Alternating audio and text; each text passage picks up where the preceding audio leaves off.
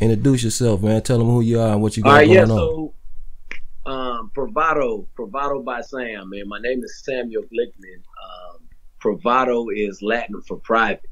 Um, and so uh, the name of my business is Bravado Grooming, which is uh, which stands for private grooming. Um, and so I've kind of been in the private grooming space for a while, man. I've been a licensed master barber for 25 years, uh, and been in the game now for 30 years. Um, so I'd like to say I kind of been there, done it. Uh, when it comes to, um, you know, organically building a clientele, opening up barbershops, closing barbershops, selling barbershops, owning a chain of barbershops, opening up suites and providing suites for people. And now I'm doing grooming suites. So I, am in the business of leasing out grooming suites. Um, and so, yeah, that's pretty much who I am. I'm the founder of the Georgia Barbers Network, which is, uh, you know, it's our local network of, uh, of barbers, uh, right here in, in, in the GA. Uh, most of us are right here in Atlanta, uh, very close knit family. Um, we're expanding. We're actually about to launch a publication called the B Culture, uh, which is, uh, stands for barber culture. the Georgia, Georgia barbers be pushing that GA barbers. And, of course, I'm the founder of the NBBS, conference, man, the, the National Barbers and Beauty Symposium right here in Atlanta, which is coming up January 12th and uh, 13th.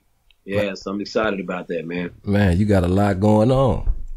Oh yeah, you got yeah, a lot sure. going on, especially you've been in the game for 25 years, so that's a 30. that's an accomplishment. With 30 years, that's an accomplishment in itself. You know what I mean? Yeah, yeah, yeah. Appreciate. So, yeah. So, what type of uh, what type of advice would you give your younger self?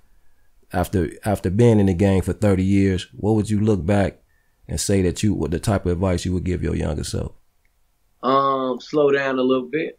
You know, the younger Sam man was so excited about about uh expanding and growing and and uh uh you know, sometimes we get ahead of ourselves, man. One of the things I do now that has been so profitable for me is is just taking my time, being patient uh, pacing, you know, uh, deciphering and discerning the right season, you know, being in the right place at the right time, making sure I'm in position.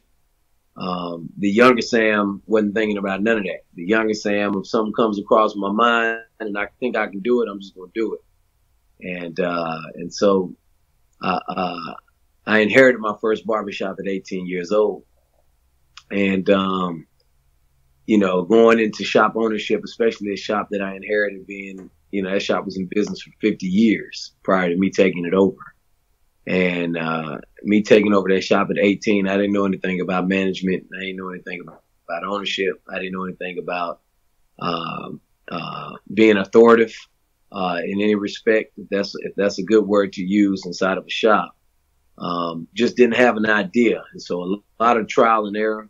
Um, you know, that whole saying, if I can do it all over again, I would do it this way. Uh, I've had that opportunity on a numerous occasions. I'm, I'm, I'm, living in that literally as we speak. Uh, if I can do it all over again, I would do it this way. I'm doing it that way now. Um, for the first time in my life, uh, after being in business for 25 years, I, I can honestly say right now what I'm doing is the right way. So you, you finally, know, so you finally got the, you finally got the hang oh, yeah. of it, basically. Oh yeah, so yeah, who, So who'd no you doubt, in, no who, doubt. who'd you inherit the barbershop from? Was it in the family um, or was so, it? A... so so originally I'm from Los Angeles, from uh, area called Pasadena, and uh, the the barbers that pretty much raised me up there um, turned me on to these two barbers in Lubbock, Texas. Um, where my mom ended up moving from Pasadena, California to Lubbock, Texas and these guys just so happened to know some barbers there, so they turned me on to them. Two guys by the name of HC and DC. Uh, DC, the dude's name was actually District Columbia. Uh, was a, that was his actual name, and his brother's name was HC, which was Horace Chester. And uh, two legendary barbers, man, they've been in the game for years. Um, they gave me the keys, celebrating 50 years in the business, told me to pay the power bill, and uh, they just felt like um, you know, I was uh, I was ordained to do it, I guess. And uh, yeah, so two gentlemen that I that I had the privilege of knowing about a year before the, before I inherited the shop. Oh, okay. Yeah. Okay. So Yeah. so tell us a little bit about the organization that you said you're the founder of. What was it again? Georgia Barbers Network. Ge- Georgia Barbers Network, and then what was the, the other one that you that's you're doing the event? Is that the Georgia Barbers? Uh, M- M- NBBS. Yeah, So M- National Barbers. Yeah. So let's let's uh let's uh let's talk about NBBS. So NBBS is January 12th and 13th. National Barbers and Beauty Symposium. It's an educational based uh conference that's uh it's, that's uh you know known for educators being able to come and teach independently away from their brands. So a lot of shows, man, the educators that they provide are brand specific educators that are there to educate uh, with the sense of, of hopefully attracting people back to their booths and uh, and pushing products and pushing sales. Um, so they become influential for that purpose alone. Uh, at my show, um, it's it's a little different because educators are there independently uh, on their own away from the brand, so they have the freedom of, of really teaching, of really educating, and doing them uh, venting, expressing, inspiring, motivating, all the above. Uh, and so it's just a different flow, man, because educators are able to operate away from their brands uh, uh, the way they wish they could do while they're with the brand. However, even in the sense of educators being able to go and participate in other classes and things of that nature, it's just uh, it's just a unique uh, approach to the industry, uh, offering more of an intimate style uh, of education uh, versus you know 800 people being in a room and and and and the host of the show being excited about 800 people being in one room Right. class. You know, Right. So the Uh, event is, is strictly is strictly education. No barber battles. No. uh Um, so so the event is strictly education. However, however, uh, Barber Olympia, um, I'm sorry, Barber Olympic is uh, Barber Olympics is um, is hosting their barber battle uh, uh, at our show this year. So they're hosting their barber battle featured at NBBS uh, 2020 Barber Olympic. That's hosted by Youssef Barber. Um, and so although I'm not responsible for that event, it's not my event per se. However, he's utilizing um, our stage and our platform to host that event, man. So I'm excited about that. So it is a barber battle this year. Uh, oh, okay. Barber Olympic, um, hosted by Youssef. Yeah. Is this the first? Is this the first event with This is the NBBS? Third. This is the this is the third year. oh, This is okay. the third year right here in Atlanta, man. Right there at the uh, Cobb Galleria. Um, we have an exhibit hall and four breakout rooms. Um, so yeah, we have four. Usually four classes are going on at one time, and you can shift from class to class uh, if you want, or you know, you have your option to go uh, to one of the four classes and sit there for an hour, you know, and, and learn. Uh, but every hour on the hour on Sunday, uh, you'll be able to sit in a different class. And then on Monday, it's, it's lights, cameras, action. You know, uh, Mm. all the education that takes place in the exhibit hall with the big stage, the big LED wall behind you, and lights and the cameras and all that stuff. Excuse me. Um, yeah. Excuse me. Bless. Um, yeah. Yep, that's uh that's pretty much the gist of it, man. NBBS is um we're bringing educators from London, Russia, Amsterdam, uh, Manchester, uh, um, and uh, Dominican Republic, man. So we're bringing educators uh, from out of the country this year as well. So it's an it's um, an international event. Absolutely, absolutely, man. So we're bringing we're bringing educators from all over the country and out of the country. Uh, and it's really just about exposing our market um, to higher education. To you know, it's it's, it's, it's advanced learning. That's what it is. Uh, for some of us professionals that have gone through the process of uh, going to school, getting licensed, and being in the game for a while, this is more than just continued education. It's it's advanced learning. So this is this is what we do uh, at the top of the year to uh, make all the proper adjustments and, and, and advance ourselves in, in our careers. You know, Okay. So one more time before we go to a little a little break, tell the people exactly where the event is at and uh what's going on. yeah, no, yeah. So January twelfth and the thirteenth, uh, NBBS. You can go online to thenbbs.com, thenbbs.com. Uh, check that out January 12th and 13th at the Cobb Galleria right here in Atlanta, Georgia. Uh, it's a two day event. The cost of it is only $30. Um, if you want a promo code right now, uh, I would, I would give you a promo code, uh, by the way of GA Barbers. One word, all caps, GA Barbers. That'll give you an additional 10% off. Um, so take advantage of that. 30 hours worth of education at the cost of a dollar per course. So for $30, you can't beat that over the course of two days. Uh, for higher education for, for, educators from all over the world, um, are, are, are uh, participating this year in this event. So you can't beat it, man. NBBS 2020. Yep. The NBBS.com. What type of turnout do you get at the events? Um, last year we had a little over 500. This year, um, our tickets are selling like crazy. So uh, uh, I think we're probably gonna bust bust the roof open this time. Uh, we'll probably have a little over a thousand people this year, uh, for sure. Um, which is which is going to be unique for us because again, it's it's always been a little bit more intimate. Um, this year, our exhibit hall is is is uh, technically completely full, uh, with the exception of 10, 10 booths left. But we've had so many vendor requests um, over the course of the next two days. I'm just going to vet through them and, and, pick the best 10 vendors. So we'll have a completely full exhibit hall. That's what's up.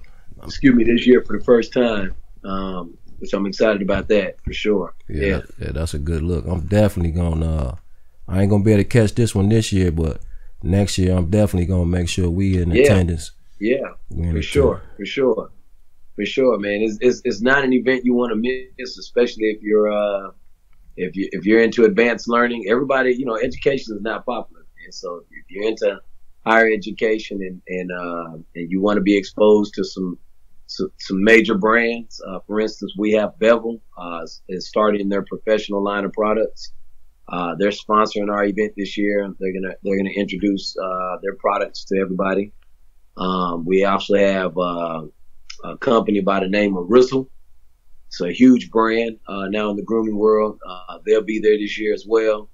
Um, we have Squire is going to be there. Hattori Hanzo is going to be there. Uh, JRL is going to be there. Um, a lot of brands. Uncle Jimmy, um, AVH, uh, L'Oreal, Pravana, um, you name it, they're they're gonna pretty much uh, be in the building this year, man. So it's it's it's exciting it's exciting. Yeah, that's what's um, up. Yeah, yeah, for sure, for sure. All right, so, and you know that's why I'm out here getting this word out, man. You know, oh man, because, I'm I'm, uh, I'm, glad we can help. Yeah, yeah, because you know at, at, at any point, you know, for thirty dollars, thirty hours worth of education, you you can't beat that. You can't beat that, man. You know. Um. Yeah, you can't beat that. Vava, I see you on here, girl. I see you just jumped on here. Bravado. Yeah. That's how you say Theo, it. What's up, man? Bravado by Sam. Right? Yep. What's good, man? It's That's the barber it. son over here, man. I just had a couple questions for you too as well.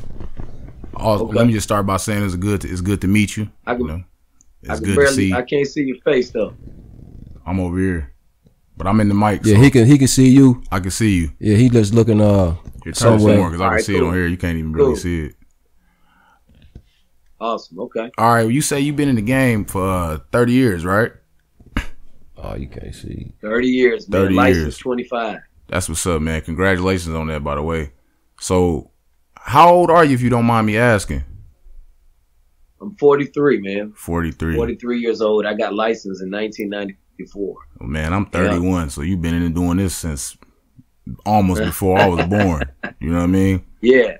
But yeah, um, yeah. I wanted to just ask you a couple questions. I was going to ask you a couple questions. Um, how important do you think consistency is in this barber industry? Um, well, consistency is everything in every industry. Uh, to be honest with you, when you're talking entrepreneurship, uh, the only way you're going to attack anything that you can envision is by being way is by being consistent. Um, for me, uh, that's that's been my biggest asset. Believe it or not, um, I've made a living off being available and a consistent uh, putting myself in position to reap clients and, and being consistent with that position. has has really been the key to my success. To be honest with you, um, that's uh, that's for anything. You know, it, it, not just the barber world. If you open up a business and and, and your hours open from from eight to six, uh, people are going to become familiar with that time frame, and, and that consistency is going to open up the door for you to reap clients.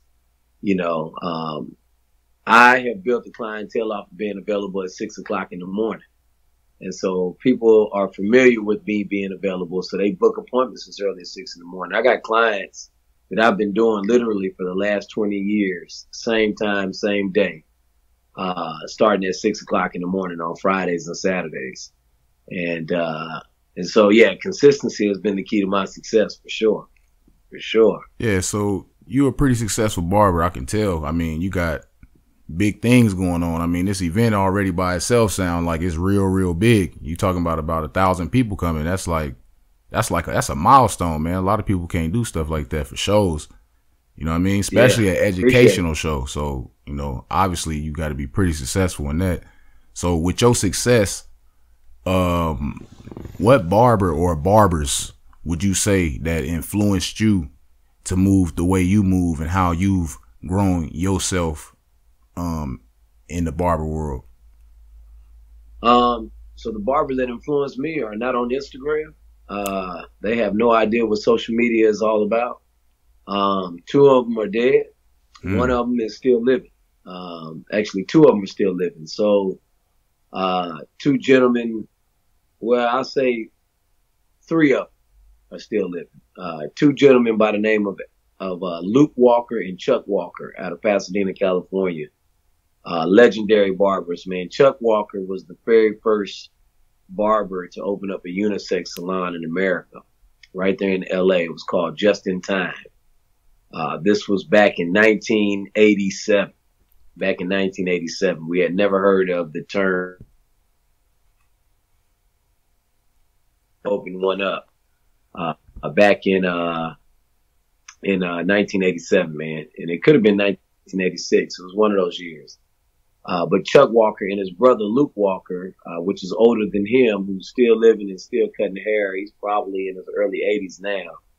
Um, those were the two gentlemen that that pretty much inspired me uh, to do what I do. Uh, you know, for some kids in the neighborhood, uh, they get influenced by different things. Some people get influenced by dope dealers. Some people get influenced by pimps. You know, where I'm from, uh, my neighborhood, I was influenced by dress slacks, a white smock, and dress shoes and cash money, you know. And so the barber was my influence, and uh, Luke Walker was one of those dudes that just uh, that just uh, you know, I, I I just gravitated to him at a young age. I was about ten years old. I remember uh, watching him pull his his uh, his change out of his pocket to give to give a customer back change, right?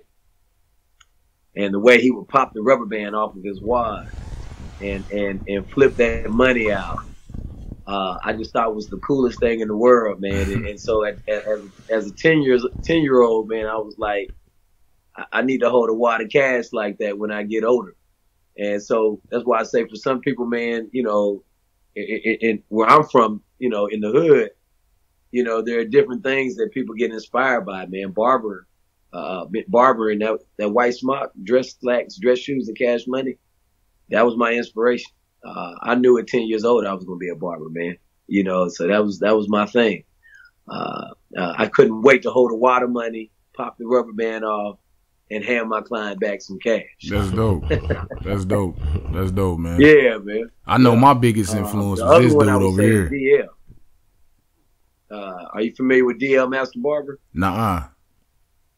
DL's a big deal in our industry, man. Um, he's still doing hair now. If, if, if, you don't know him, follow him. We get off of this live. But DL Master Barber is uh, one of my homeboys. He was the one uh, when I was in the eighth grade. Uh, he had just finished school, and he had his own barbershop. Man, at 18 years old, and uh, he was the one that made it a reality for me early, um, for me to inspire to have my own barbershop at 18. And so uh, I had already envisioned in my mind I was going to be a shop owner by way of what DL did. And uh, now DL is one of the biggest influences in our industry right now, which is a which is a big deal, man. But yeah, DL Master Barber is another one that influenced me uh, big time. Yep. That's dope, man. That's dope. So, with that being said, you know, all barbers they all specialize in something. What would you say that you specialize in, and what makes you stick out uh, more than other barbers? Um, I can't honestly say I know what makes me stick out. Um, and right now I don't really specialize in any one particular thing, but I will say this. Um, for barbers that are trying to build themselves, um, people are trying to find ways to invest into you, right? Um, when people are looking for a barber, uh, they're not just looking for someone who's skilled. They, they want to know the personality. They want to know if he's going to be about his business. They want to know if he's going to be on time. He's going to be consistent, all the above, man. And so I would say I've done a very good job of painting a picture on Instagram of what kind of person I am, giving people a realistic idea of what they're about to patronize. And I think that separates me from a lot of barbers in my area, um, presenting myself in a specific manner. Uh, so people have a realistic idea, man, of what they're about to invest their money into. Uh, NBBS, NBBS, and I posted down here on the comment too, man. Uh, NBBS 2020 is January 12th and 13th, uh, at the Cobb Galleria right here in Atlanta. You know, uh, it's, uh, it's a two day event. The cost of this event is only thirty dollars. Uh, so we're offering basically thirty hours of education at the cost of a dollar per course. Man, you can't beat that. Uh, and uh, so I'm posting it right here. You guys can pin it um, if you if you want. Let's see here. Hold, hold on. Um, thenbbs.com is uh, is the website. You can go on there and purchase tickets right there from the site. Thenbbs.com. Oh yeah, man. You know, you know how these young dudes is that cut hair, man. Like I, I be in the shop. I got a couple young people that work around me. I be in the shop, Okay. and uh, I got a few dudes that look up to me. You know what I mean? And I try to tell them things, Yeah. but I feel like sometimes a lot of people won't understand unless they hear it from multiple people or people that's you know done more or been in the industry longer. So, uh, how do you feel? How important communication is with a barber or any kind of a stylist or you know anybody that deal with clients and um um how how important you feel communication is be- between them Um, well, communication is everything, you know, uh, uh, being able to effectively communicate though, I think comes by way of, of studying behavior. So, um, you know, it's one thing to study consumer behavior, but, uh, to study the behavior of independent contractors and working with, with, with individuals that are, that are licensed and in business for themselves is, is a unique situation. And I think what our industry is probably one of the most unique when it comes down to dealing with independent contractors. Uh, you know, if, if, if there was ever a term that I would use for you to kind of study on, it would be called emotional intelligence. Uh, in the hospitality world, it's called EI. So if you can study EI, which, which is emotional intelligence, man, to kind of give you an idea uh, of how to discern different situations, man, that, that, that, that will help you in the area of conflict resolution. It'll help you in the area of, of, of client retention. It'll help you in the area of, of customer service. Um, from a management standpoint and, and being an influential figure, man, it's one thing to be able to, to tell somebody something, right? It's another for them to actually believe you. Um, and so going out of your way to be influential at all times, man, so that everything that comes out of your mouth and everything that you do, from the clothes you put on to the to the way you wear your hair to the uh, to the words that come out of your mouth, is something that they want to inspire to be, you know. And I think we don't work hard enough at, at at being that super influential person.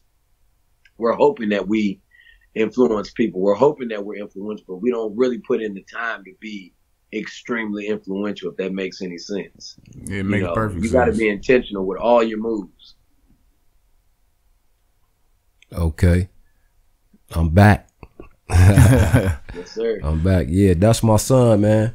he been cutting. He been in the game for a while. He was in the shop with me uh, since he was like 12 years old. Mm-hmm. Wow. Uh, yeah, so I, I had a shop. And now he's grinding. Yeah, now he grinding. I was, you know, I was cutting for about 20 years myself.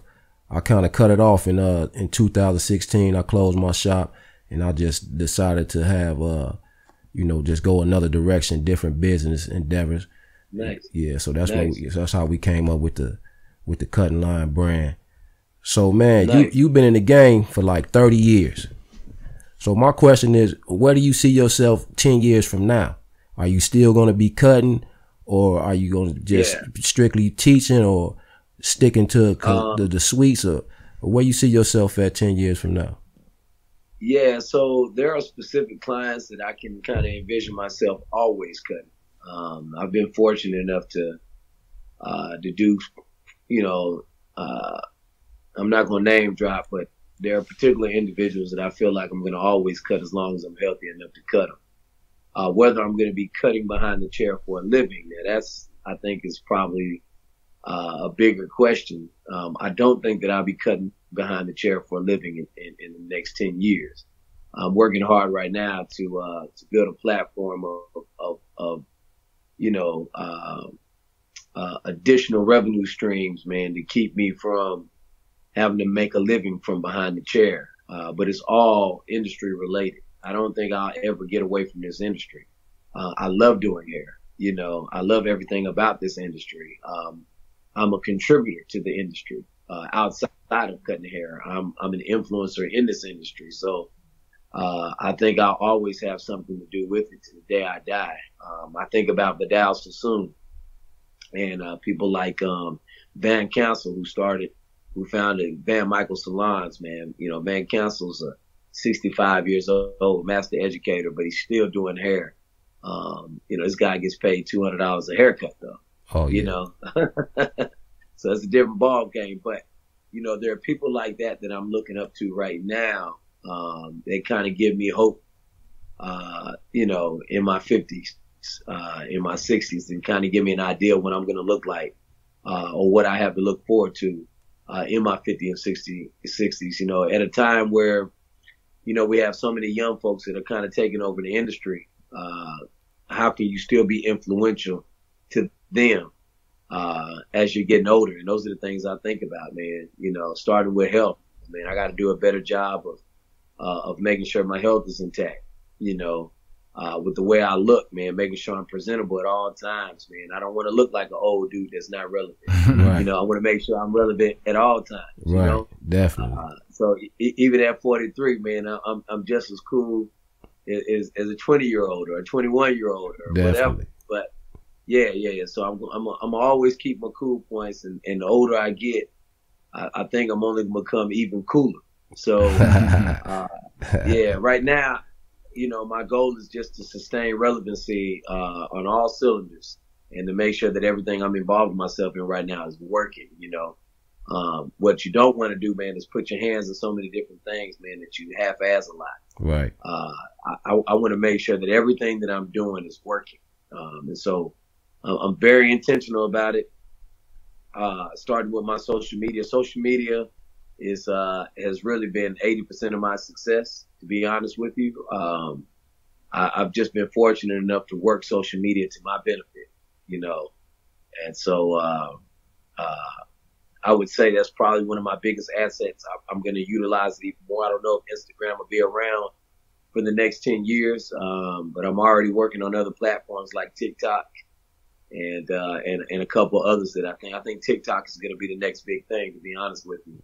Uh, and so I'm starting to build some relevancy there, uh, on TikTok. Man, we got to make adjustments. You know, we got to constantly adjust. Uh, we got to constantly, uh, uh, put ourselves in a position where we're relevant with everything that's going on around us, uh, concerning our industry, you know, and, and that's how we're going to stay ahead of the game. You Right. know, that's what my conference is about, really, uh, putting you in a position to make all the right adjustments, you know? definitely. Yeah. So, so what would you say after being in the game so long and all the accomplishments that you achieve? What would you say has been your most impactful uh, contribution to the industry?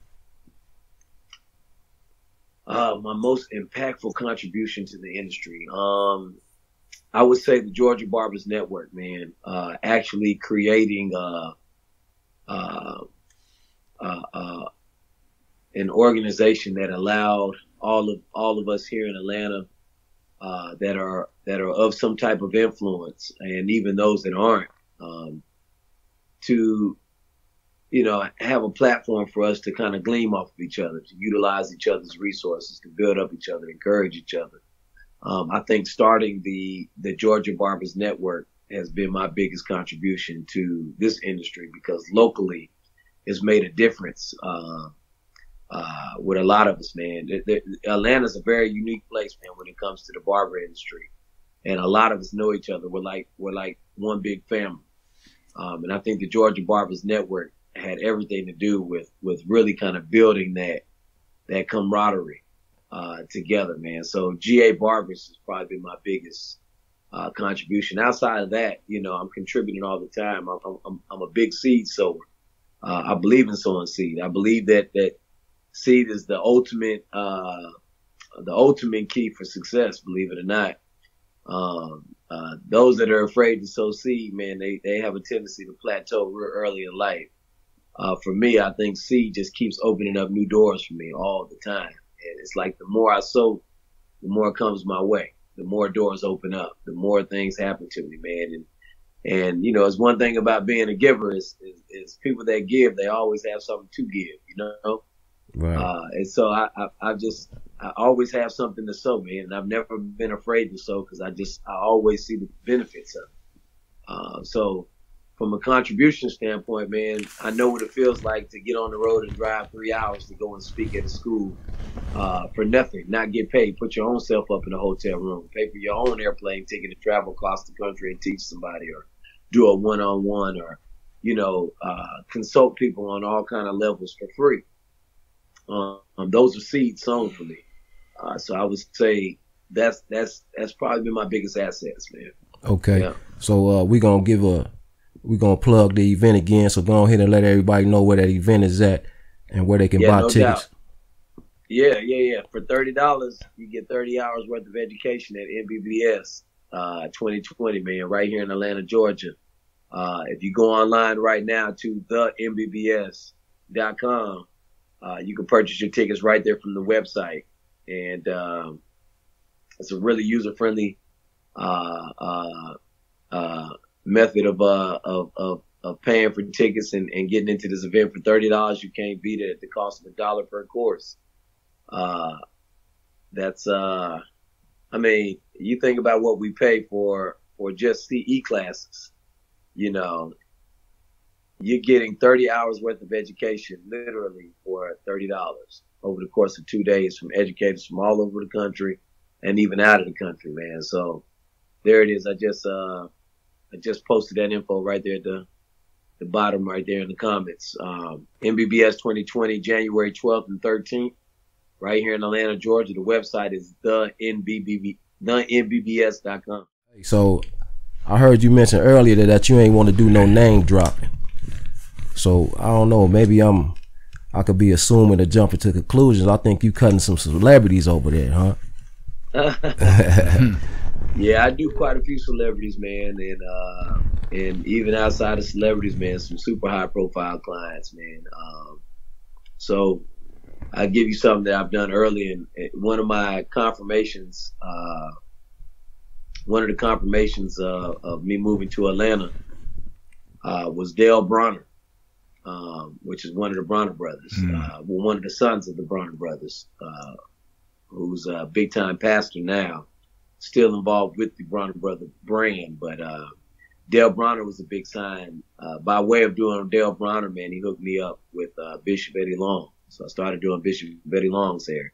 And then from Bishop Eddie Long, I started doing Byron Cage. And then I ended up doing Kirk Franklin. I did hmm. Kirk Franklin's hair for 10 years. And from Kirk Franklin, I started doing Chris Tucker. And from Dang. Chris Tucker, Nas. And then from Nas, uh, it just went down the line. So right now, um, uh, the people I do right now, I'm not gonna mention their names, uh, just because it's just not it's, it's not relevant, man. But I've been super fortunate, man, to do so many people over the course of the last 25 years. Um, it's been unreal, man. So we were talking earlier about positioning, uh, being in the right position, man. That's that's really been the claim to my fame. Uh, I just always have a tendency to be in the right spot, at the right time, with the right attitude, with the right personality, you know, to make the right kind of money with the right kind of client. so you doing you doing everything right. Hey man, you know, it's called fortune. You know, I, have been fortunate, man. Game, what's up, game? I see you on here. All right, I'm finna pass it to the barber, son. I got. All right, man. How you I doing, got bro? Ten percent. Okay, we almost done. Ten percent battery life on here, man. Okay, I we probably are, just got one more question for you, man. we gonna let you Yeah, go. yeah, no doubt. No so, doubt. you know, you've been in the game, like we already said, it's been 30 years, 25 licensed. What's the difference have you seen from when you first start cutting hair to what it's like now? Like, what's the what's the major difference you've seen? uh, the approach to establishing a clientele. That's the biggest approach, man. Uh, you know, back when I first started, the business card went a long, a long ways.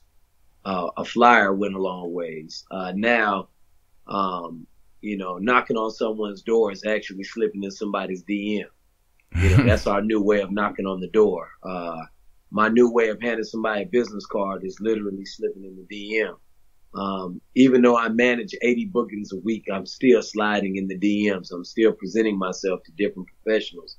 Uh, targeting is a big is a big difference now. Uh, back in the day, uh, I remember standing in front of a, a Kmart and handing out business cards and flyers and trying to build a business that way.